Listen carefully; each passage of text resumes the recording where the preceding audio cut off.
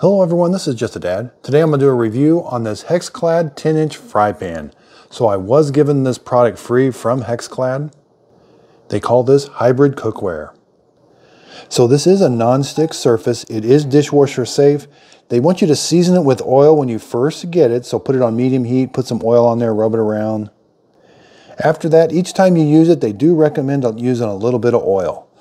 So the bottom of it, it's got kind of like a textured surface a little bit. And same with this right here. The handle does not heat up. You can put this from the, like the, the take it right from the stove top and put it right into the stove.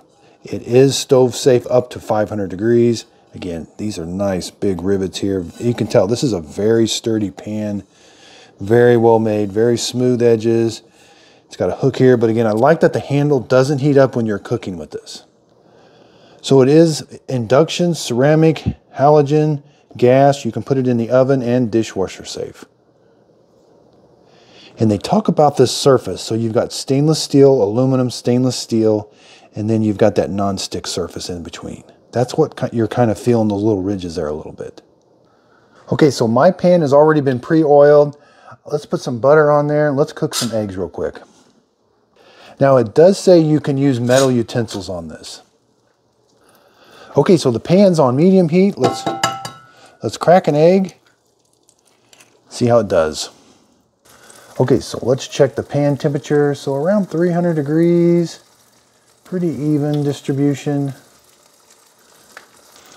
Okay, so let's give our egg a flip. Yep, the non-stick is working really good.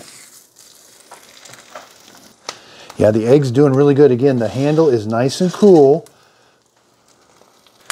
And the non-stick surface is working very well.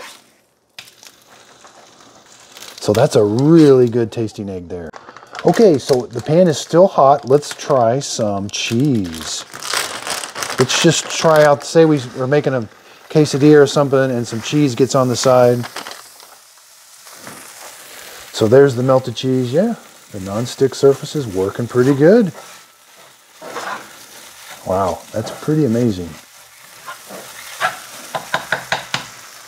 I'm kind of letting it burn on there a little bit and it still comes off. Okay, so I took it over to the sink, just gave it a quick rinse. It cleaned up really, really easy. So let's go over just basic dimensions. So the top of the cooking surface is about 10 and a half, but down at the bottom, it's about eight. Depth-wise, you're looking at about an inch and a half. And the handle sticks out about eight inches. So I'm very happy with this fry pan. I hope this video helps. Thanks everybody for watching.